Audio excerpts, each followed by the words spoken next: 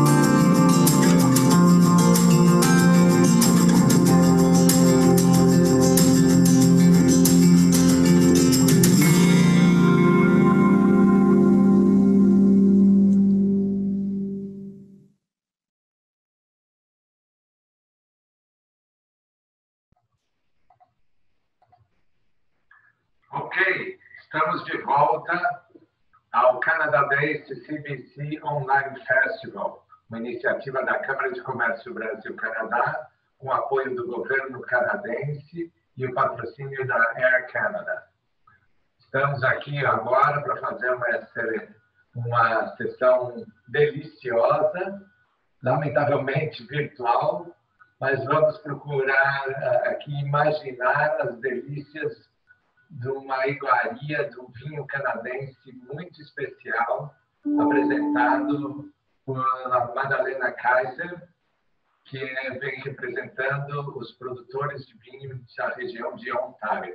Hello, Madalena. It's very nice to have you here with us this afternoon to talk about the wines of Ontario, especially ice wine. Obrigada. Um, Oi, um, tudo bem? I used to live in Brazil uh, when I was in my teen years for nine months. So that is the most of the Brazilian Portuguese that I remember. So this presentation is reminding me that I need to go back to Brazil and uh, I miss it and hopefully one day actually speak Portuguese again. it was my first language I learned actually. So um, thank you very much. So yes, I'm very excited to be here today to talk to you about uh, ice wine, Canadian ice wine, and thank you for celebrating all things Canadian this week. Uh, yesterday was Canada Day, as you all know. So, um, so I'm happy to get started as quickly as possible. I know that uh, you really only have 45 minutes, so I'm going to kind of move quickly through the presentation and um, at the end, leave a little bit of time for some questions. So if you're okay. And I, the questions will be done by the chat. Pardon me? The, the questions will be shown at the chat. Yes, they will be done by the chat. So if anybody has a question, uh, put it in the chat and we will answer them at the end. I'll answer them at the end. Okay, so it's all yours. Okay, so I'm going to try to do the uh, share screen and I should be good.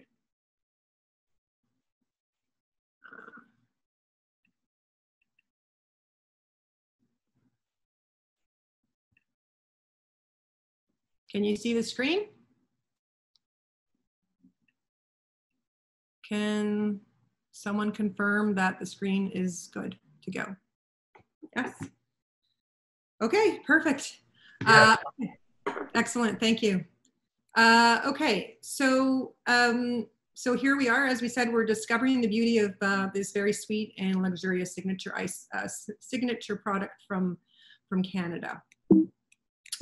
Uh, just a second, here we go. So um, we have been on the global stage for many years now for ice wine. Really, ice wine was the flagship product that really put Ontario and Canada on the map. I think that this uh, quote from Hugh Johnson uh, one of the world's most acclaimed authors and wine writers, um, when he talks about the fact that uh, the establishment of ice wine was something that really um, moved our region and our country forward.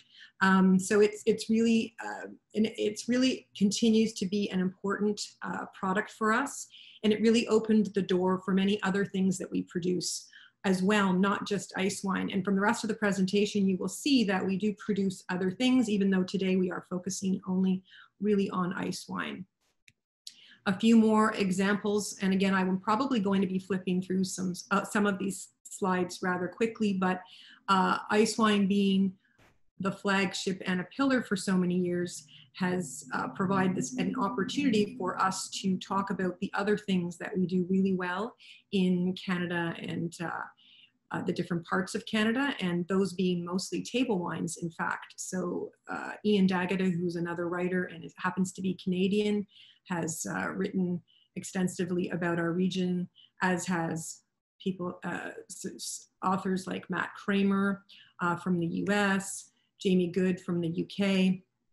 And what I've done here now is actually just included a couple of photos of what our vineyards look like in the middle of summer or in the growing season. Uh, I think it's important to know because people often think that we actually have uh, only cold temperature to produce uh, ice wine. So you actually need a proper growing season with grapes in order to get the um, the grapes ripe and then leave them on the vine for production. So this is a, a couple of slides really just to show that to you. Uh, here's another one, a beautiful um, example. This is one looking from the uh, Niagara Escarpment across. If you look in the far right-hand corner, uh, this is looking north from the Niagara Escarpment and you can see the CN Tower across the lake in the far corner. So it really just shows you the proximity to Toronto and the Great Lake, which is Lake Ontario, uh, which again, we'll just talk about briefly when we go through some of the slides prior to uh, the next area here. So what I am gonna do actually is I'm going to uh, put uh, a video on right now. It's two minutes, but I think it's really important to watch because um, it, it just gives you a glimpse of, uh, in two minutes, exactly what ice wine production is all about. So hopefully this works. I'm gonna press play and we can watch it now. While you watch that, I'll Canadians may not have invented ice wine, but they have perfected it. Today, Canada is the undisputed global leader of this unique and rare sweet wine, a quintessentially Canadian product. The quality and quantity of Canadian ice wine has continued to rise. And the world, it seems, can't get enough.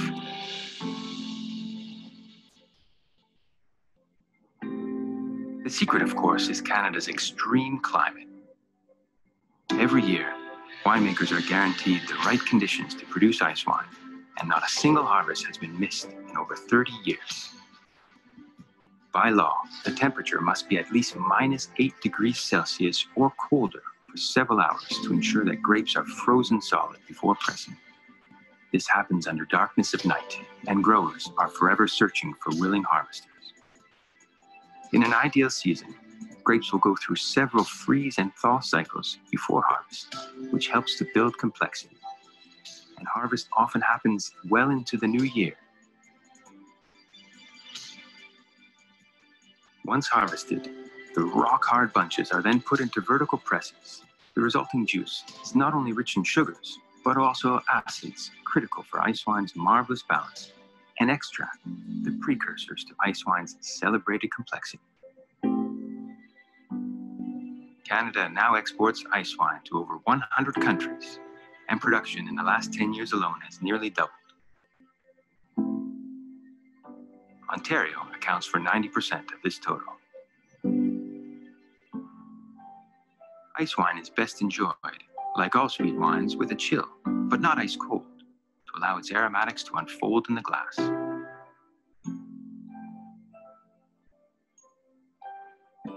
Ice wine, Canada's quintessential wine.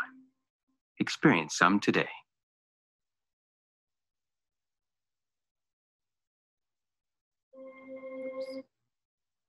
Okay, so uh, hopefully that gives you some insight on the visuals of ice wine production, which I think is a great way to start because it's really difficult to visualize, even people who are studying about ice wine. Um, and so next, I really just want to give you a, an overview really of Canada as a wine producing country. Uh, as you can see, we're looking from British Columbia on the west coast to Nova Scotia on the east coast and in between Ontario, which is where I am, and then also between Ontario and Nova Scotia, we have Quebec. So essentially, um, Ontario is the largest uh, planted area in Canada, and then next is British Columbia, and then with quite a quite a lot less is Quebec, and then uh, slightly less than that is Nova Scotia. So all producing uh, wines with certain consistencies uh, considering our climate and our latitude and so on, but certainly there's diversity within the regions. And so um, ice wine, actually where we'll take you is the next slide is, uh, and, and before I do that, actually, perhaps I'll just say that close to 600 wineries all across Canada in total, uh, sprinkled through the different regions. And the next slide really just shows you a little bit more information on ice wine production specifically. And so while we might, if anyone really knows about Canada, uh, Canadian wine, they usually know ice wine first. And it, it's interesting because it's really only about 5% of our production by volume. So uh, it is something we, we produce consistently every year in Ontario. Uh, as you heard from the video, the majority of ice wine does get produced in Ontario due to the cold winters, the regular cold winters. That doesn't happen as consistently in, in any of the other regions. Uh, but again, you can see the breakdown here um, with the producers in each region. So because Ontario is really the, the primary production area, we're going to focus a little bit more on Ontario so you can understand uh, what is really happening in this region. There's 180 wineries in Ontario. Um, they're broken up between three primary appellations and emerging regions as well. And uh, typically in Ontario, we produce about 30 million bottles of wine a year, which I like to say is very close to our population. I think we're at 37 million uh, Canadians. So in Ontario, that's not ice wine, that's all wine. And from the next slide, you can see that in Ontario, we produce mostly table wine. Uh, we produce a lot of sparkling wine, actually more sparkling wine than we produce ice wine. But again, as you can see, we're here for ice wine and um, it's a very important product and we produce most of it um, the largest producer in the world. So a quick history on Ontario wine. Um, again, there are two slides here and um, if anyone who wants to look at the video after today or get a copy of this presentation, uh, I'm sure you'll be able to do that to look at these details. But really the modern history of Ontario is in 1975 when uh, Inniskillin Wines which um, got the first winery license in 50 years, started producing high quality vinifera wines. And so from that point forward, uh, many other pioneers, Chateau des Charmes, Cave Spring Vineyard, Henry of Pelham, started producing and investing in the region and producing uh, quality wine, which brings us fast forward to um, where we are today with 180 wineries. One point on this history um, slide that I'd like to point out to you though is in 1983 is when Ontario started first experimenting with ice wine and then 1984 the first commercially produced ice wine was created and uh, by the standards of grapes frozen on the vine which is required for ice wine for Canadian ice wine. So again, just going back to Ontario specifically, because that's where most of the ice wine is produced, it's very linked to climate. So Ontario and climatic conditions. So latitude is one factor for sure. Uh, lakes is another. Um, you saw in the photo how close we are to Lake Ontario and how large Lake Ontario is. So back to latitude though, we are actually uh, very similar in latitude to Tuscany, Italy which is much more, south than realized. And as I mentioned earlier, we need a, a, growing season in order to produce the grapes to, to make ice wine eventually. The lakes are really important because we are a, a continental climate that's moderated by these lakes. And if we didn't have the lakes, it would be too cold to actually ripen the grapes. Limestone is another factor that we like to talk about. Uh, in the sense that soil is really important for the character of wine. And we have limestone, uh, different types of limestone. Most of it is dolomitic, which is very old and provides certain characteristics of grapes when you're uh, growing grapes.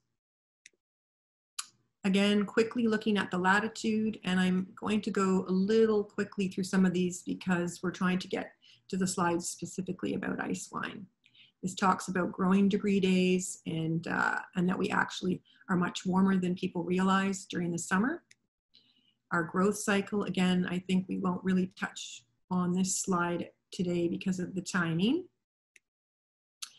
A closer look at the, the Great Lakes that we talked about. They're very deep lakes. It's the greatest, uh, largest freshwater system in the world. So they really actually act as oceans. And uh, do not freeze. At least four out of the five don't freeze uh, because of their, they are so deep.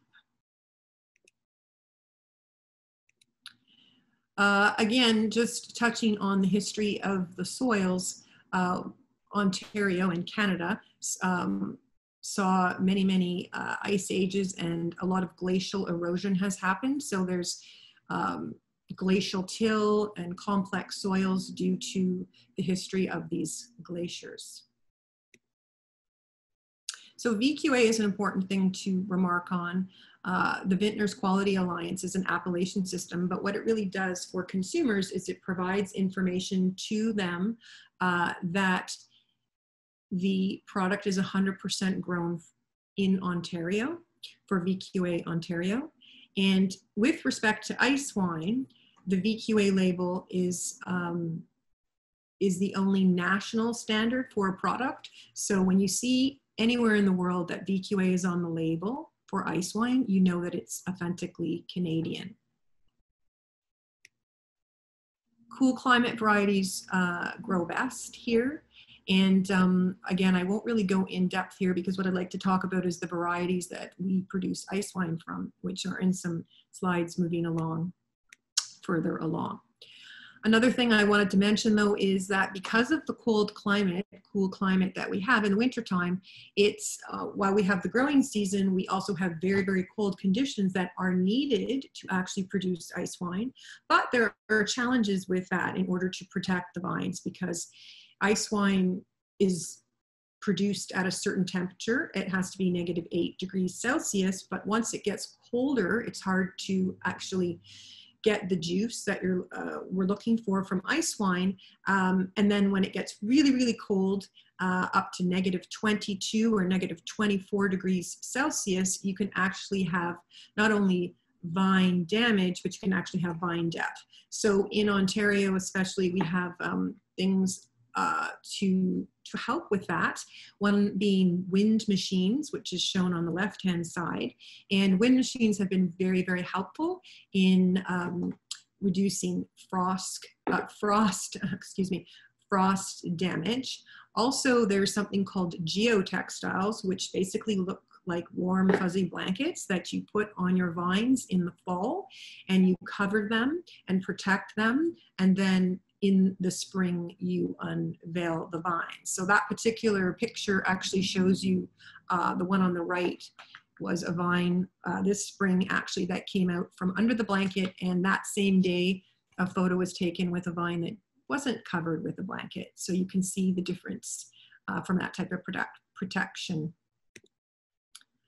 This talks about our sub-appellations. Again, I think just for the purposes of time, we will uh, move through these. And I apologize, I just wanna make sure that we get enough time with ice wine. So here we are at Canadian ice wine. Canada did not invent ice wine, but we have become the leading producer of ice wine globally. And we produce it consistently every year since 1984 when it was produced commercially first.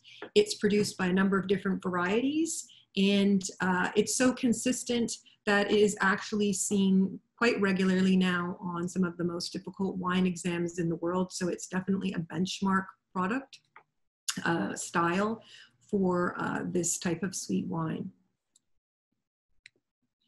So character and, and style, we're going to get into some other slides, as I mentioned, which will go into a little bit more um, discussion about some of these things. But essentially, probably the most obvious thing is that it is a sweet wine.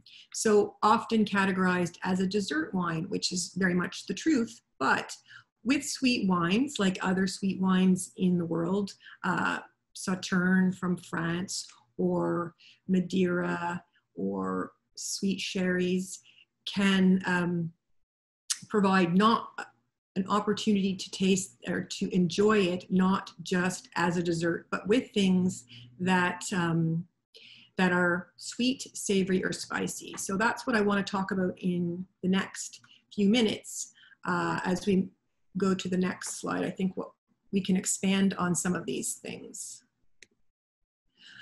Before that, though, again, back to the history a little bit. So essentially, as I said, we did not invent it.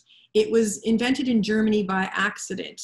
Uh, interestingly, over the last 24 hours, when we posted information about this webinar, uh, I started to get into a little bit of chat with somebody who was saying that it actually was not necessarily Germany, but it was in, in fact years and years before in um, other parts of northern Italy. And um, so I have to do a bit more research on that, but certainly we know everyone really does give credit to Germany for perfecting it um, over the years and also Austria. In Canada, British Columbia actually made the first ice wine in Canada in 1974 in very small batches.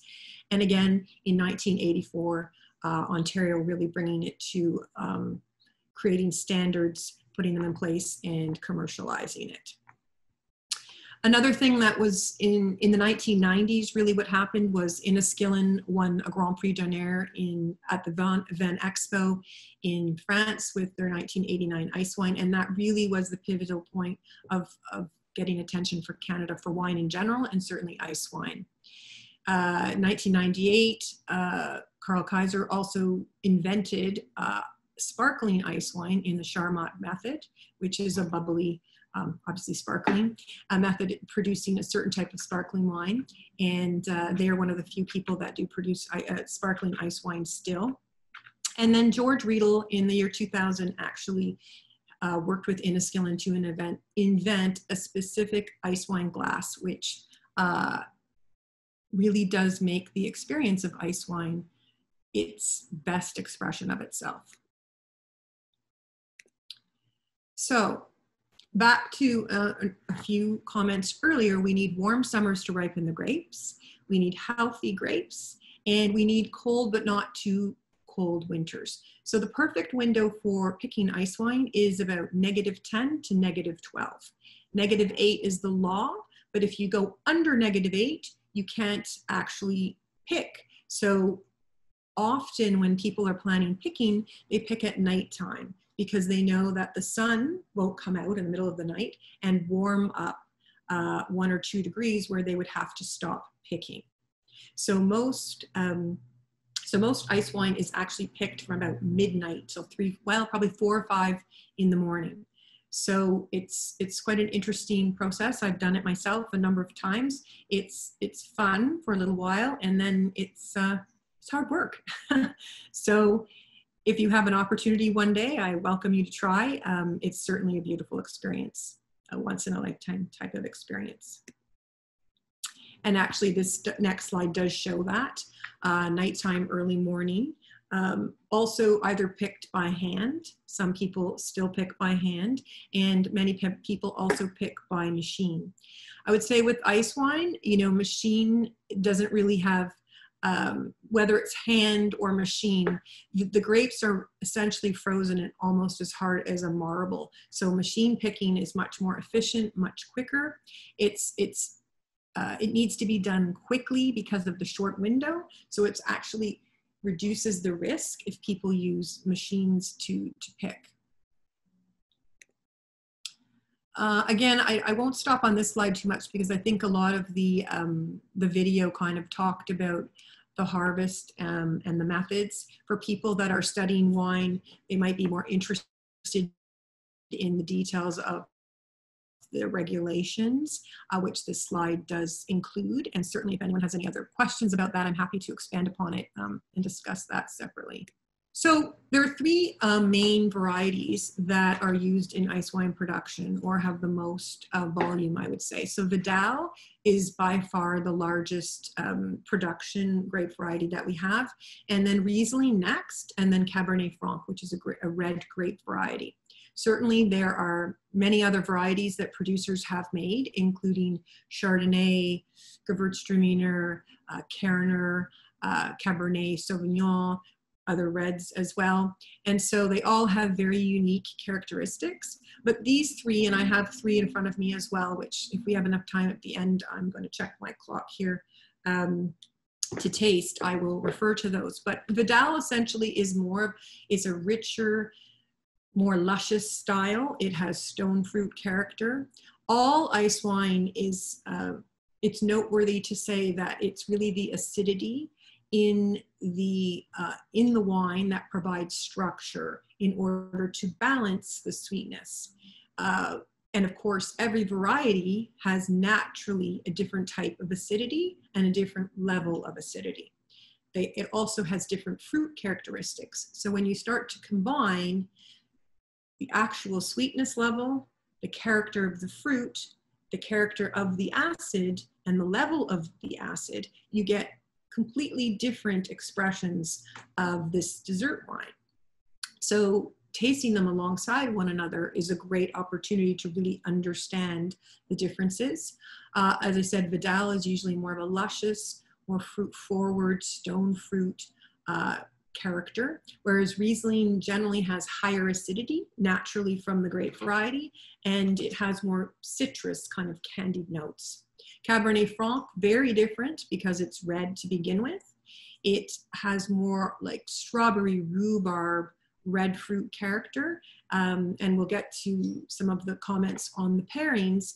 Um, definitely these different ice wine grape varieties go with different types of food due to their characteristics. Just a point on serving. So generally, because it is dessert wine, it is bottled in smaller bottles. So 375 mil generally. Uh, also now wineries are producing 200 milliliter bottles, which are slightly smaller. And then, uh, and, and if you go to a duty-free shop, you can see 50 mil little um, bottles of ice wine, which are essentially uh, single serving. And so that allows you to try different varieties as well. The other thing, so essentially a smaller pour, so you might have a 200 or 375 mil might do fine for a dinner party. And uh, it's recommended that you serve it well chilled, so about 10 to 10 to 12 degrees Celsius. You don't want it frozen. um, no wine should really be frozen, uh, but cold enough that it's, again, well chilled.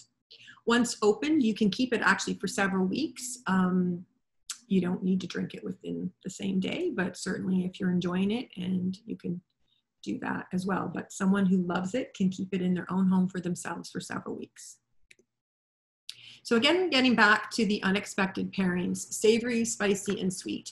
Sweet pairing seems the obvious, which is the case, but also um, savory and spicy I guess savory is probably the next obvious pairing, uh, but spicy is maybe the unexpected pairing. And with savory, the sweetness of the ice wine basically um, balances or goes along with rich, salty characteristics. You'll see later, uh, well, we have it here on the slide actually, blue cheese, foie gras, those things are a classic pairing that you would also maybe have with Sauterne, is perfect with ice wine. Sweet, we'll go to the bottom of the slide here, actually is, is a natural. You can have ice wine by itself as a dessert, or you pair it with um, a dessert that can allow both the dessert and itself to shine. Spicy, again, being unusual, the sweetness, and this is not maybe unexpected when you look um, at other pairings that sweet and spicy in so many cuisines, it's actually a classic, interesting pairing.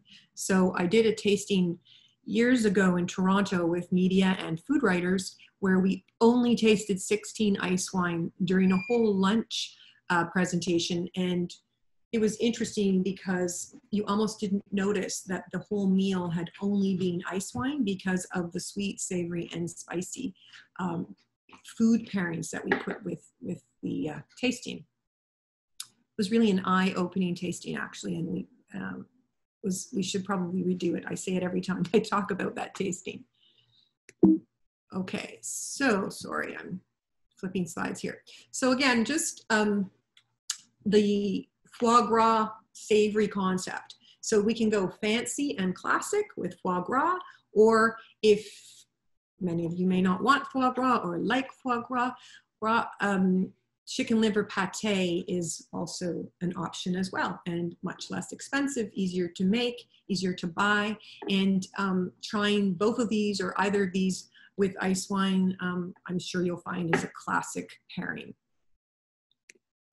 The aged blue cheese, again, another classic pairing. And we've just put on these slides just some of the ice wines, the varieties that might pair best.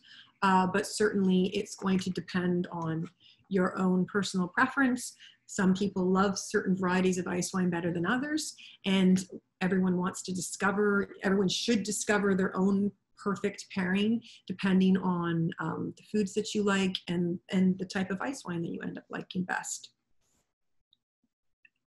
Spicy curry. So again, this is an interesting, unexpected pairing.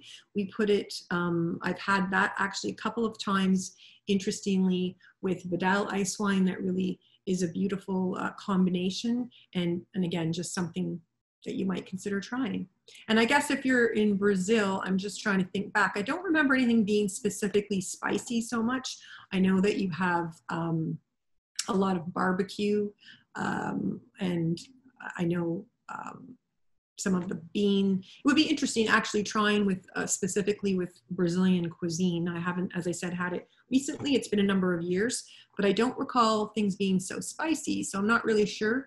Um, from from Brazil specifically what you might try, but that might be fun and interesting to see what it could be paired with as part of the traditional cuisine there. Spiced nuts, again, the spicy component. This is just something really simple if you wanted to try as uh, an aperitif and have some ice wine and, and try something with some uh, a spiced pairing chocolate. So again, chocolate's probably one of the classic pairings and Cabernet Franc seems to be one of the most popular varieties to pair with chocolate. Very kind of decadent and rich. And as I said, with the character of, of Cabernet Franc ice wine, having strawberry and berries and rhubarb notes, it just is a perfect combination with chocolate, um, chocolate and berries. Delicious peach crumble. So this is more of a um, stone fruit uh, combination. So uh, we would lean or recommend that you might try Vidal ice wine with that because the type and the nature of the fruit character in Vidal seems to go really well with peach we live in the Niagara region, or at least that's where I live, and that's where most of the ice wine is produced. And we produce, we grow a lot of peaches. So um, this seems to be a perfect pairing, uh, a great opportunity to um, use local ingredients and have a local product like ice wine to be paired with it. So beyond food, I guess, um, and I'm just looking at time to make sure I think we're okay.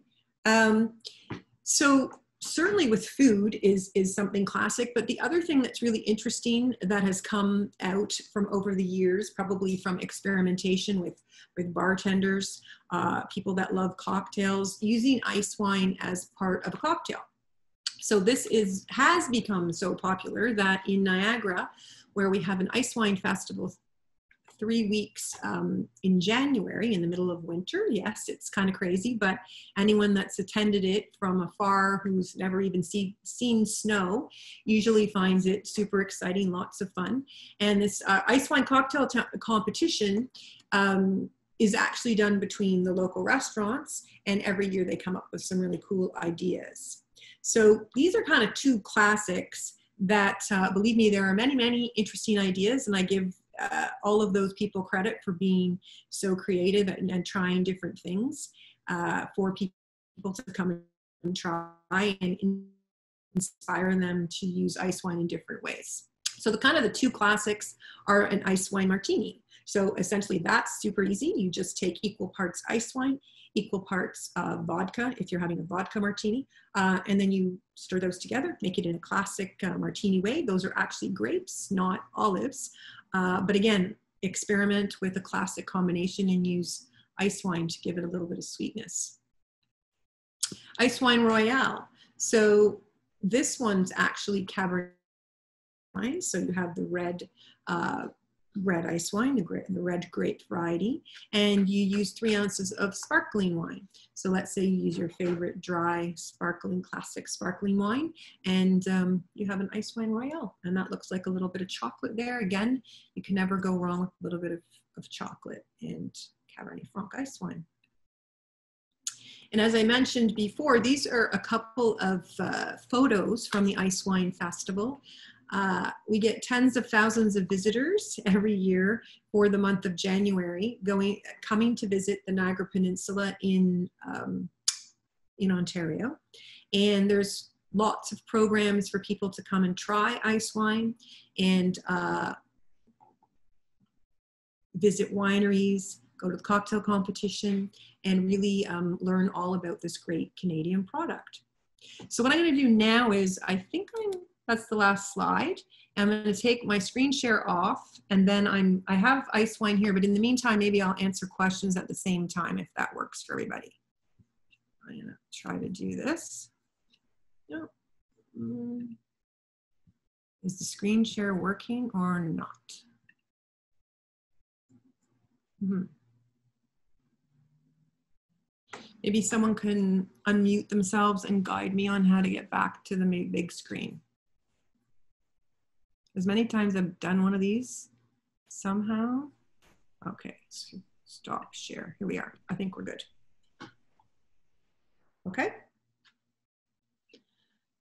So my understanding is uh, my Brazilian team is going to WhatsApp me some questions which I'm looking at right now. I'm hoping that's what I'm supposed to be doing. Uh, okay. All right, so there's someone named Alexandre that is asking uh, if there's a course on Canadian wines. They found one in BC and also at, which is at the, well, there is one at BC that they have an ambassador program uh, which is more geared towards, I think there's a level one and a level two, and slightly more geared towards um, like sommeliers. Uh, then they have, uh, yes, the, the Fine Vintage School puts on a Canadian wines program.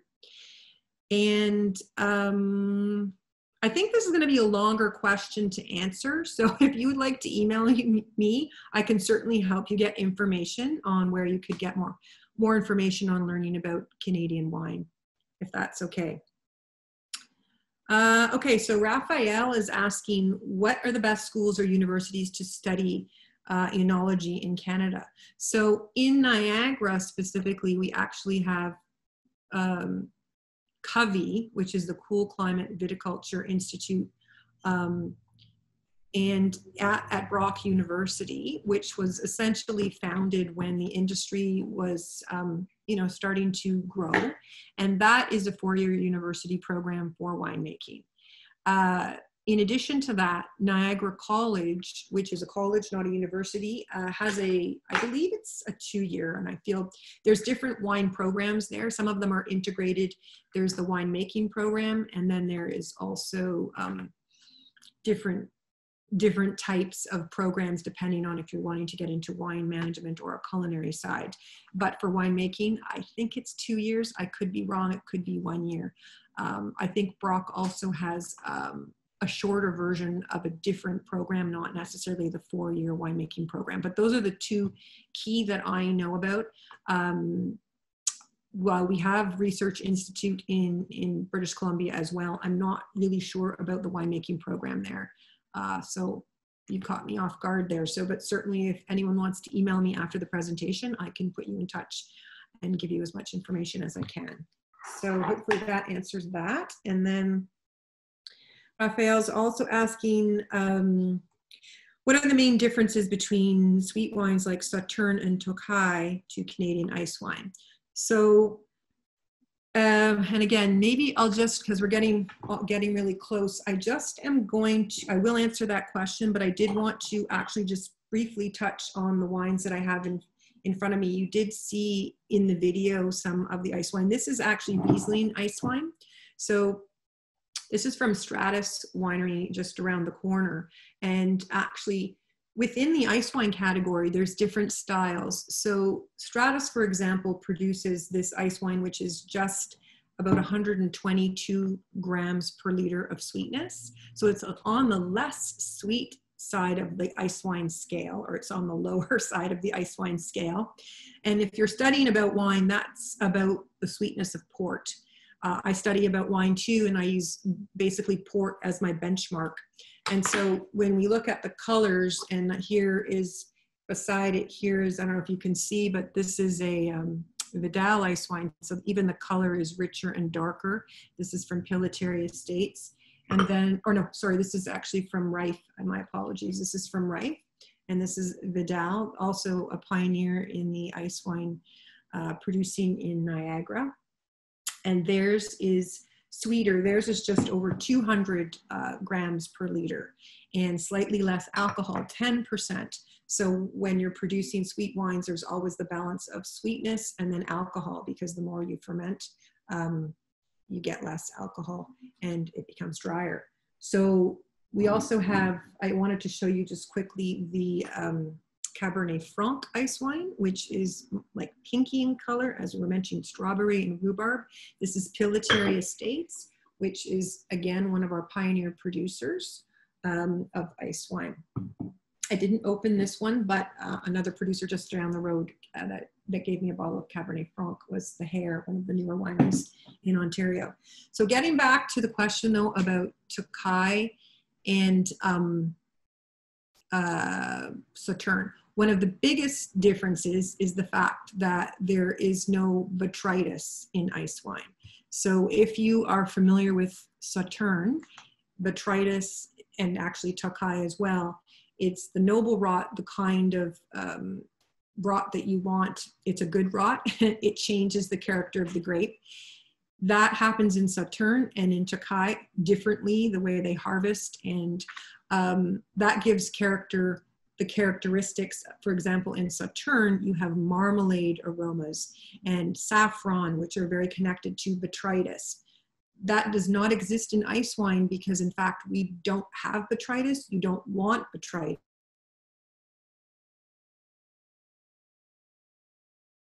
Clean. So that is one marker if you're doing a blind tasting that you should definitely, definitely figure out. And then um, it's the sweetness and the acidity level, I would say, uh, is a big part of that as well. Um, certainly with Tokai is considered the highest acid. So if you were doing a blind tasting, it is really, you know, certainly in a blind tasting, if you're having them as part of one of 12 and not realizing you know what you're looking at and you don't have any information but if you're tasting them side by side uh, you can certainly see the differences. So hopefully that does answer it. And again, I'm happy to answer any other questions. Checking my WhatsApp because I think we're getting basically two more minutes. Um, okay, yeah, we just have five more minutes. So uh, are there any other questions before we wrap up? Just gonna wait.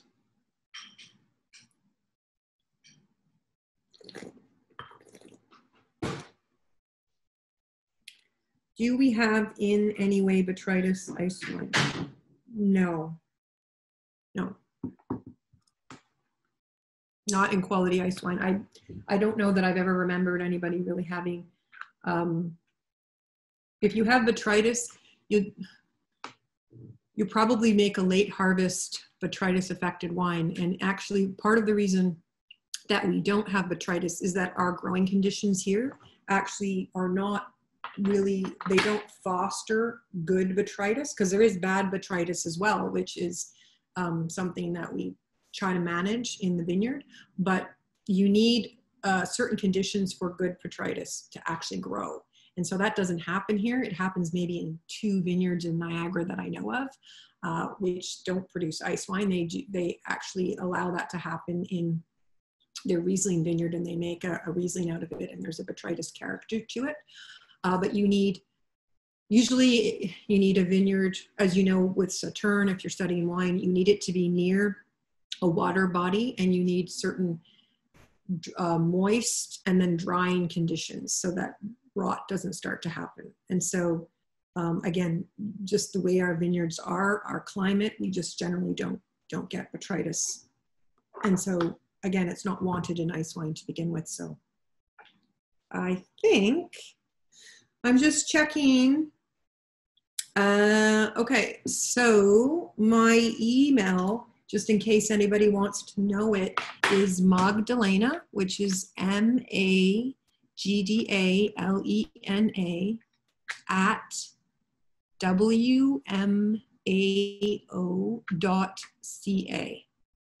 So that's my work email. Uh, if you're on social media and you want to communicate with me that way, I'm uh, M Kaiser Wine.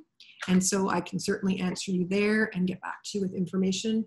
Um, our our um, industry website is winecountryontario.ca. And uh, there's lots of great information there about ice wine. We also have this video that you saw, and we'll probably be posting this presentation uh, somewhere as well. I think that the people here will be also posting this presentation. So hopefully, I think that is um, everything. So thank you very much for taking uh, 45 minutes out of your day today in the middle of summer to learn about ice wine. And cheers to Canada. Cheers to this great product. And um, obrigada. Obrigado, Madalena. Thank you very much uh, for sharing uh, all this information with us. I think uh, it, was very nice to hear about ice wine and get to know a little more about the, the process for producing. Uh, it's important to, to point out that uh, the Chamber of Commerce Brazil Canada is will be working together with uh, Canadian producers to help bringing ice wine to the Brazilian market. Uh, we have already talked about that, and we, we, we're very happy to count with the, our cooperation and partnership to, to help Brazilians have the opportunity to experience and to taste such a special wine. Mm-hmm. Well, that would be wonderful. I know there are some producers that are interested, so hopefully there is an opportunity for them and they can. Well, Excellent. So once more, thank you very much for being here with us at the Canada Day CCBC Online Festival. Obrigado a todos pela presença. E agora, na sequência, já temos uma outra palestra interessante sobre internacionalização e empreendedorismo na região de Toronto. Então, é, gostaria que quem está aqui seguindo a gente nesse evento uh, siga também as próximas palestras. Temos palestras, inclusive, até o domingo, dia 5. E no site da, do festival, aproximadamente 200 conteúdos culturais para download gratuito. Muito obrigado e até breve. Thank you very much. See you soon. Happy Canada Day. Happy Canada Day. Okay, bye-bye.